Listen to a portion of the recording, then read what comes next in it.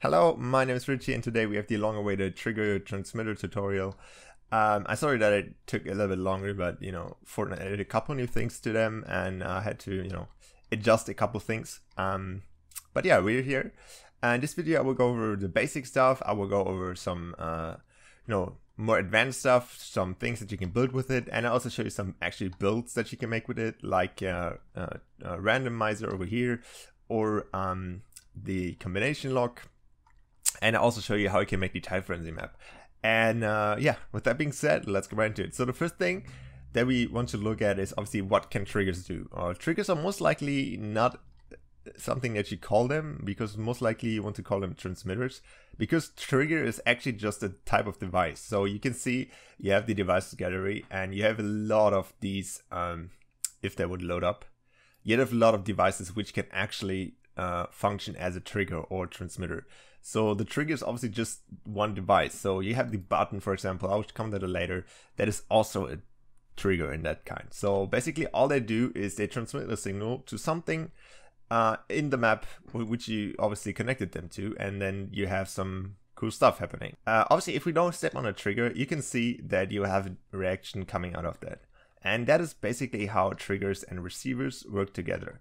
Okay, now that we know what triggers can do and what cool stuff you can make with it, um, we should go over what you can use as a trigger and what you can use as a receiver. And uh, as we already mentioned, there's a huge list which which you can use as triggers and receivers. You can mainly use just things from the device category. Uh, you can also use things from uh, the galleries category, which is the uh, particles which are these kind of beautiful things. And you can use the beacons as receivers as well, but we go over it later. So let's go over the things that you can use as a trigger. And um, the first one is the trigger itself. Uh, this one is your all-rounder. It You can basically activate it by walking over it. You can activate it by jumping on it. You can activate it by shooting at it, pickaxing it. You can you know use that thing for basically everything. Uh, you can also activate it by uh, triggering it by some other trigger, which is like this thing is your all-rounder and you want to use it most likely for everything. Um, the next one is the button, which is a new one. Uh, this is the only one currently which can be interacted with a key, so that's pretty cool for maps where you have to press a button or something. Uh, we have the um, the collectibles, which you can also use as a transmi uh, transmitter. You have the objectives, you have uh, bumpers, and you can even use the uh, sentry and the checkpoint uh, as a transmitter. Because if you eliminate the uh, the sentry, you can send a signal, and also if you uh, activate it for the first time, you can send a signal with the checkpoint new things which got just added to the 10.0 version are the explosive device, which was just before was a receiver because you could not transmit anything, but now you can use it to actually transmit its signal if it explodes, which is very cool because you can time it up and you can have timing on it, and it's it's a pretty cool, unique uh, thing uh, that you can use, and also the timer, which is basically the best thing that ever happened to uh, to the creative community because that thing is actually super cool. You can have exact timings of uh, when you want to start something. Uh, you can create score systems that was not able to create before, and this thing is basically awesome. Okay, the last thing on the list is um, a semi trigger because this thing can be used as a trigger, but it cannot transmit anything. Uh, so it always needs a second transmitter or a second trigger to do anything. For example, uh, we will see that later um, you could place um, a trigger here and then activate it, you know, with the trigger. Can be useful for a lot of cases. I will show you that later. Okay, let's go over the receivers. And receivers basically the thing that is the in the end or in the middle of uh, your connections. Uh, most likely like a quarterback, you know, a quarterback always needs a receiver. He can throw the ball all day long, but if there's nobody to catch it, then uh, there's no need to throw it, right? So um, basically, you can use every uh, trigger as a, a, receiver. So that's obvious, that is you know, common sense. Uh, you can you know make like chains with it and all that kind of stuff.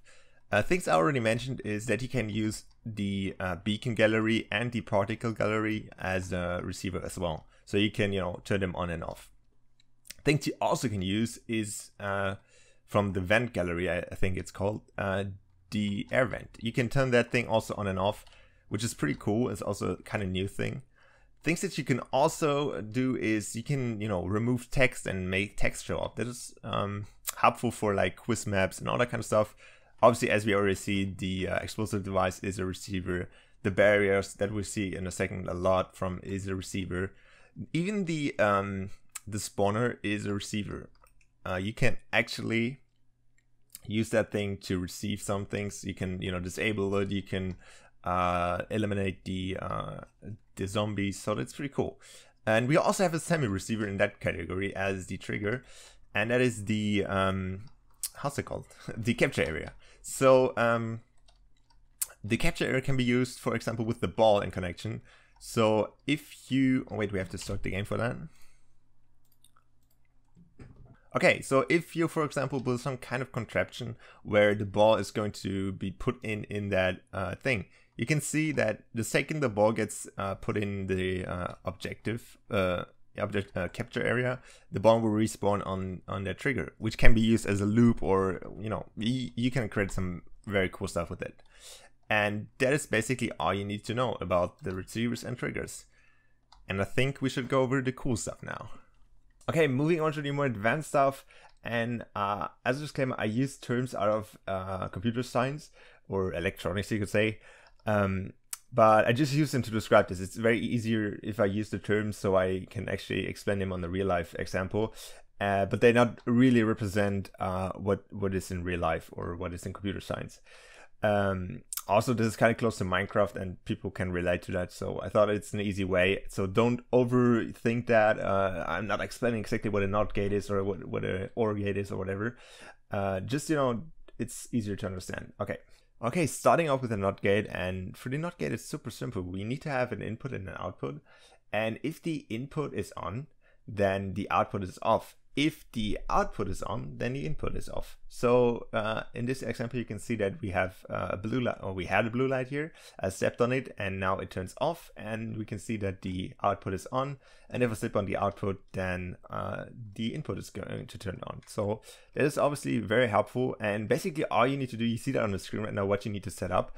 Uh, but all you need to do is basically just uh, make sure that if you step on one um, on one trigger, that this trigger is going to disable that uh, itself and going to turn on the other trigger. And obviously in the other trigger, you do the same thing.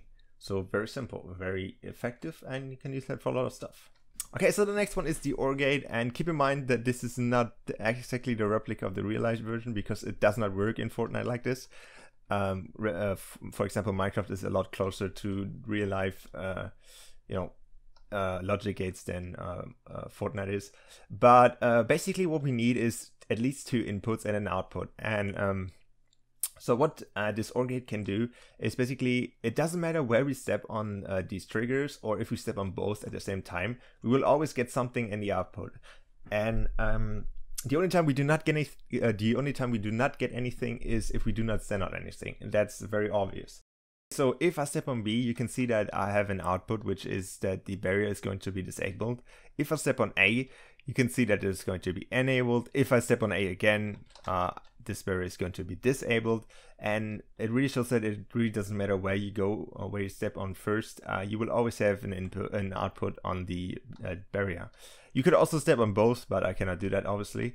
Uh, and how this works is basically you want to connect a music sequencer to uh, a, um, a, trigger to a music sequencer, and that music sequencer then sends a signal to the um, to the middle one, which is the converter in that fact. Because if you step on both, you obviously need something that converts the two signals into one.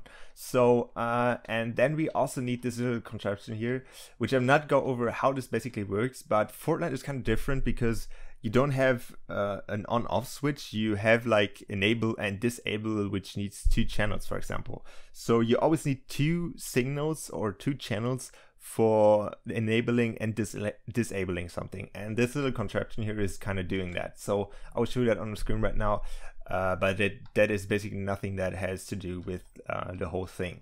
Okay moving on to the AND gate and this one is pretty cool because this one basically requires you to activate both triggers at the same time. If you activate one, um, then nothing will happen to the output. If you activate uh, none, obviously, then also nothing will happen to the output. And how this basically works is that the uh, air vent is going to shoot up the baller through uh, this contraption and going to land on the trigger, which is going to activate another trigger, which then uh, disables this barrier. But this only works if you step on both triggers at the same time. So as you can see, if I go on B, for example, then just the barrier is going to be disabled. If I step on A, the ball is going to go up, but the barrier is then uh, again enabled. So now if I step on both of them, you can see what is going to happen. So as you can see uh, that uh, the ball is going to get put up, the barrier is going to be disabled, and the uh, bumper is going to be triggered, and the barrier is down, which is pretty cool. So that is how you can create um, an AND gate or uh, to trigger whatever. Okay, moving on to the monostable circuit, and this one was cool because you can create a very short impulse of something. Um, you obviously do not need to make it very short because Fortnite is kind of uh, cool with that because you can actually set up the music sequencer, the sequence of that, to something higher or lower. And obviously, depending on how you set it, you can make that impulse longer or shorter.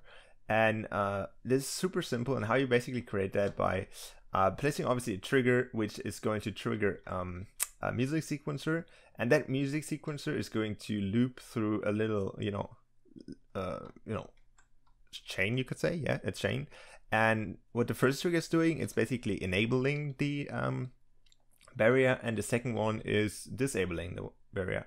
And obviously, if you jump on here, you will have the short impulse, which is pretty cool. Okay, so moving on to the next one, we have the one trigger toggle switch, and this is definitely not a term out of computer science. If you have a better term, then tell me. I just made that up, so I don't know. Uh, and what this is basically doing is solving a problem that we have in Fortnite currently because we do not have an on and off switch.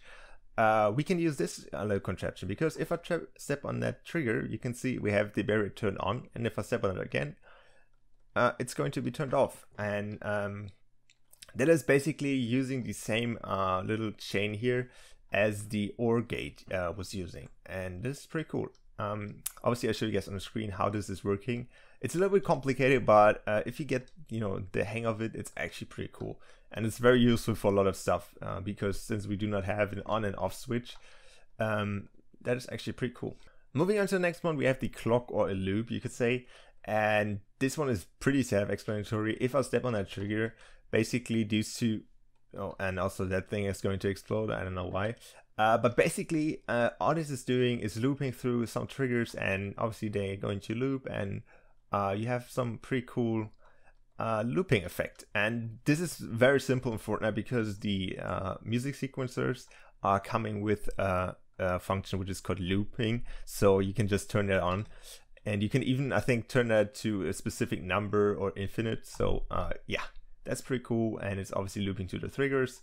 And yeah, hopefully you enjoyed this video. Hopefully I could help you guys with something.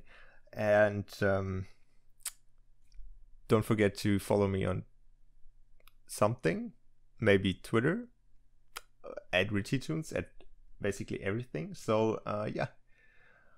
Thank you guys for watching. Leave a like if you liked it. Leave two dislikes if you disliked it. And I will see you guys in my next video. Bye.